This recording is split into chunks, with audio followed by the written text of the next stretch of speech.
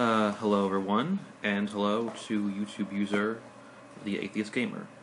Uh, I want to make a couple points in response to a video that you had uploaded on your channel about two weeks ago titled Feminism is Your Enemy. Alright, so here's my first point. In a couple parts of this video, uh, you talk about how the gender wage gap does not exist because of sexism, uh, is, essentially what you say. Uh, you say that the reason that women get paid less than men is is because okay, you, you say mention three reasons. One, women's bodies are completely different. They tend to work less, and that's women, I'm assuming, and women don't work overtime as much as men do. Okay, so here's what I'm asking you: Can you show me, sir, how you came to this conclusion? Well, it's it's you know very simple. All you gotta do is just look up a few videos on YouTube. I mean, I watched The Amazing Atheist. Um, the Amazing Atheist left links in the description in one of his videos about how women do, uh, in fact, work less than men. Um, and there are, in fact, legitimate reasons for it. Again, uh, women tend to work less because of um, their limit, their body limitations. They tend to take more vacation days, more um, sick days.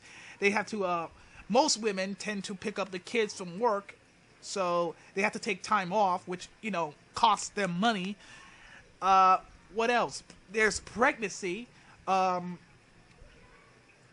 and, and I, there's other factors that I know that they're around, but I just can't think of them right now. But let's talk about the wage gap for a brief moment. The wage gap argument is basically that women earn 77 cents as much as the men work as. This is basically um, the one statistic that they found out.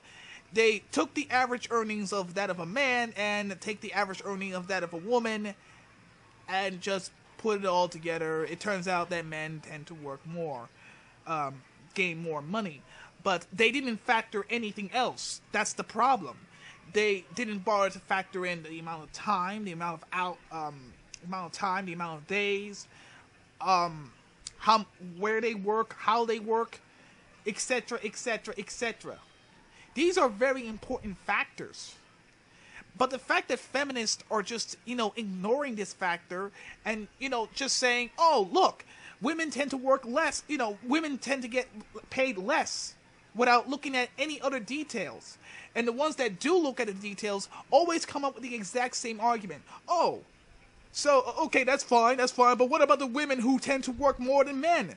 As if I I'm against that. No, I am not against the idea of, you know, a woman getting paid more than men as long as a woman does in fact work more than a man. I'm not denying the fact that there are women who don't work overtime. I'm not denying the fact that there are women out there who, you know, work even harder than men. Yes, there are women out there who do that. In fact, single mothers, believe it or not, are the breadwinners for for their own household. Which in fact makes sense because they're single mothers. They have to pay for their child. They got to pay for themselves. It's hell for a single mother.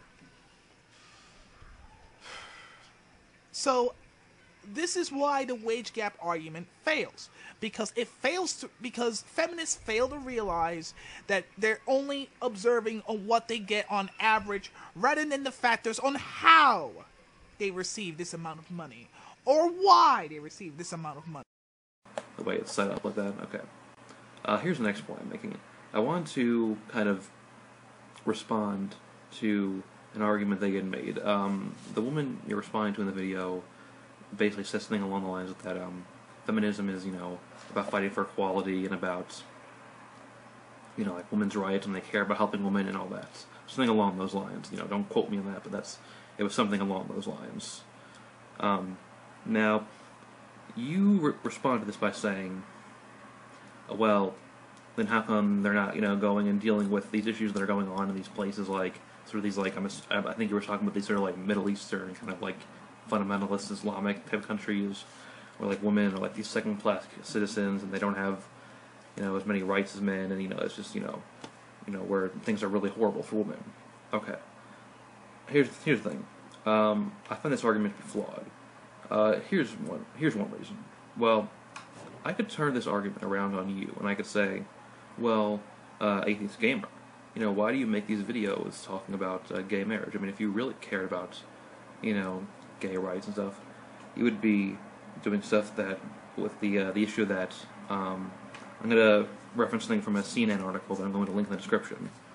Uh, here's a quote from this article. In Uganda, homosexual acts are punishable by 14 years to life in prison, according to rights activists.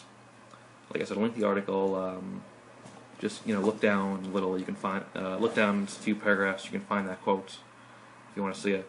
Um, so, do you see kind of why that logic is flawed now? Because I could say the same thing as you. I mean, I mean, not everybody's always going to like talk about like the worst thing. That would be a great counter argument, except for one problem: women here are not oppressed. The majority of feminists are focusing here in America, where women are literally uh, are literally the most least oppressed people here. It's, I mean, here, like compared to other third world countries, women have it here easy. In fact, women can get away with stuff uh, more easily than men can do. A woman can hit a man, and you know the crowd will go crazy. They will cheer for that woman for defending herself. But if a man hits a woman, that man gets gets to be dehumanized. Don't you see that double standard? and as for and you know gays gay marriage it's it's still uh, america is still working up. They're fixing up gay marriage. Do you know there's only about i believe 11 states that are allowing gay marriage? I believe it's most mostly the northeastern part of america and california. But states like arizona texas those states are not going to allow gay marriage gay people are far more oppressed than women, and yet these feminists are focusing only on their genders, as if, yes, yes, yes, it, it, feminism is like the ultimate salvation towards everything, but it's not. This is why feminism fails because they're always thinking that women are somehow oppressed. They can literally find oppression towards anything. If if they find a cartoon that they don't like, it's you know if they see a, a bunch of girls um, showing off their boobs, or you know it's not even in a sexual way, you know just you know showing off their bodies, then it's oppression because they're trying to please the male audience. If there's only two female characters in like an, an entire series, it's oppression because you know there's only two women. They will find oppression in literally anything. Just look at Anita Sarkeesian. She would find sexism in songs. Fucking Christmas songs. Who does that? Only a feminist would do that.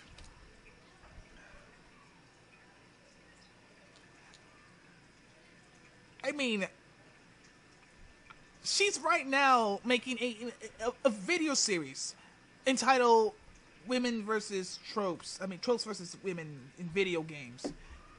And I have to ask, where's the gay people? Where, where where's the blacks? Why, why, where, where are they? Why aren't we having groups of people doing that? Uh, because last time I checked, according to game theory, there aren't that many gay characters, and the ones that are gay characters are either unstable villains I mean, uh, either villains or unstable people. I'm sorry, but compared to, you know, gay people, women have it all.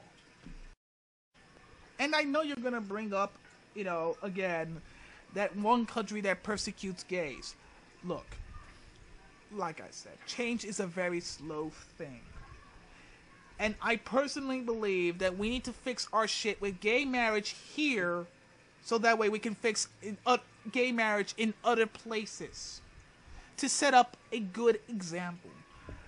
Here in America, women, again, are not oppressed. women are the most privileged people walking on this earth. At least here in America. You know, like sometimes people might not just be interested in talking about these horrible things. Sometimes people, or like because maybe it's or maybe it's not that they might not be interested, but maybe because like it's just hard to deal with these things like that are going on in these other countries like Uganda with gays or with women in like these you know Middle Eastern countries because it's too far. You know, we don't really have much control over what their government does. We can't like vote in elections there. We can't vote for laws. We can't vote for politicians. Like I said before, change is a very slow process. But there's a, a camp, you know, a Twitter campaign about yes all women. And you know, as soon as that's dying down, there's another campaign called "Stop." Um, what's his name? Elliot Rogers or something? I mean, I'm not Elliot Rogers. That other guy's name. if women around the world can create a hashtag to exploit Elliot Rodger, then we can start making a campaign, you know, toward you know showing the people in their own countries on how they're how fucked up their lives are living, and eventually, maybe one or maybe a few can you know, take a look and realize that their country is in fact fucked up and start bringing a change. Like I said again, change is a very slow process, but you gotta start by getting your shit together and working with other people in order to spread the message across. And more and more people will start spreading across because they will know that this is the right thing to do. I mean, we are the same country that in fact stopped SOPA. Didn't I mean Google and um, some other companies, I mean some internet companies decided to shut down as a response to the SOPA Act. And, you know, the government complied and realized that the, what they're doing is a mistake. However, they still managed to get rid of mega downloads or whatever.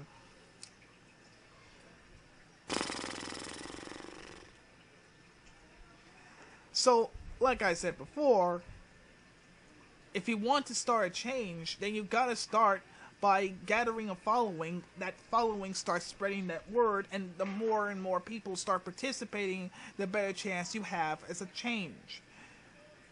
But it has to be changed for the better and not for the worse. And feminism is doing things for the